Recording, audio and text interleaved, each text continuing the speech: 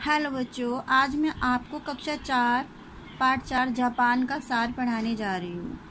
प्रस्तुत पाठ के माध्यम से लेखक ने जापान की भौगोलिक स्थिति का वर्णन किया है। एक कमरे में दो मित्र संदीप तथा प्रदीप बैठे पुस्तक पढ़ रहे हैं। तभी तीसरा मित्र अंकुर भीतर आता है जिसमें टीवी के कार्यक्रम जापान देश के बारे में बताया जा रहा है कि जापान देश भारत के पूर्व में पड़ता है और यहाँ पर सूर्य सबसे पहले दिखाई देता है। यहाँ के लोग छोटे छोटे कद के गोरे होते हैं होते हैं।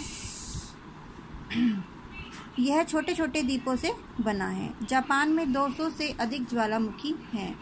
फ्योजामा जापान का एक प्रमुख ज्वालामुखी है और जापान में भूकंप भी आते हैं। यहाँ पर जहाज़, जहाज़ों, इस्पात, सूती कपड़ा, बिजली के यंत्र और कारों का खूब निर्माण होता है। जापान के लोग फूलों के बड़े शौकीन हैं।